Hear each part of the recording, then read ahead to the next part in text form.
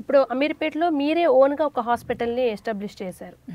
దాంట్లో దాంట్లో ఎటువంటి ట్రీట్మెంట్స్ ఉంటాయి? ఇంకా ఏ ఏ డిపార్ట్మెంట్స్కి సంబంధించి ఆయుర్వేదిక్ డాక్టర్స్ అవైలబుల్గా ఉంటారు? యాక్చువల్గా అది టూ థౌజండ్ సిక్స్టీన్ ముందు కూడా టెన్ ఇయర్స్ బ్యాక్ నుండి కూడా ఇంకొక డాక్టర్ దాన్ని రన్ చేసేవారు. సో అప్పుడు అప్పుడు అన్ని రకాల ప్రాబ్లమ్స్కి ట్రీట్మెంట్ అనేది ఉండేది. సో దాంతో పాటు ఇది నేను తీసుకున్న తర్వాత ఆ డాక్టర్ గారు కూడా ఉంటారు. అండ్ నేను కూడా అంటే ఈ కంటికి సంబంధించిన ట్రీట్మెంట్స్ అనేవి చేయడం జరుగుతుంది ఇప్పుడు.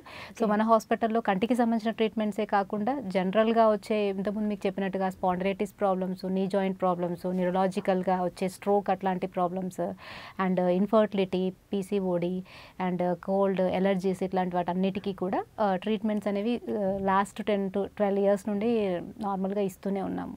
బట్ స్పెషల్గా యాడ్ అయింది కంటికి సంబంధించిన ట్రీట్మెంట్స్ అలాగే హైదరాబాద్లో మీ హాస్పిటల్ ఉంది. చుట్టుపక్కల ప్రాంతాలు లేదా కొంచెం లాంగ్ నుంచి వచ్చిన వాళ్ళకి సిట్టింగ్స్కి అవైలబుల్గా వాళ్ళు రాలేరు. అటువంటప్పుడు వన్ మంత్కి సరిపడా మీరు ఏదైనా ఒక- వన్ మంత్కి సంబంధించి టాబ్లెట్స్ ఇవ్వడం అలా ఏదైనా ట్రీట్మెంట్ అవైలబుల్గా ఉందా మీ దగ్గర? మన హాస్పిటల్ యాక్చువల్గా ఇన్పేషెంట్ ఫెసిలిటీ హాస్పిటల్.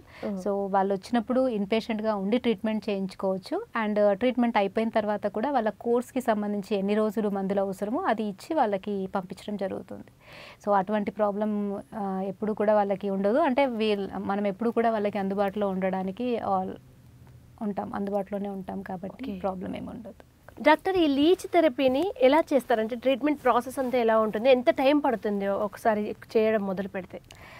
యాక్చువల్గా లీచ్ థెరపీ వచ్చేసి మనం thirty five to fifty minutes వరకు చేస్తాం. అంటే మినిమం ఒక హాఫ్ అన్ అవర్ అయితే చేస్తాము. సో ఫస్ట్ జలగల్ని ఇంతకుముందు చెప్పినట్టుగా పసుపు నీళ్ళలో ఒక థర్టీ మినిట్స్ ఉంచిన తర్వాత ఆ ఫ్రెష్ వాటర్తో కడిగిన తర్వాత పర్టికులర్ సైట్లో ఉంచి జలగ నార్మల్గా దాని అంతటా అదే రక్తం తీసేసి కొన్నిసార్లు అదే వదిలేస్తుంది. బట్ అది వదిలేయకున్నా కూడా మనం ఒక హాఫ్ అన్ అవర్ తర్వాత దాన్ని ఆ పర్టికులర్ సైట్ నుండి తీసేసి మంచిగా పట్ బ్యాండేజ్ అనేది టైట్గా వేసేసి మనం క్లీన్ పార్ట్ అనేది క్లీన్ చేసేసి బ్యాండేజ్ చేసి వదిలేస్తాం అనమాట ఒక వన్ డే ఆ బ్యాండేజ్ ఉంచుకుంటే సరిపోతుంది. ఇలాంటి ఇంట్రెస్టింగ్ వీడియోస్ కోసం తప్పకుండా మా ఛానల్ని సబ్స్క్రైబ్ చేయండి.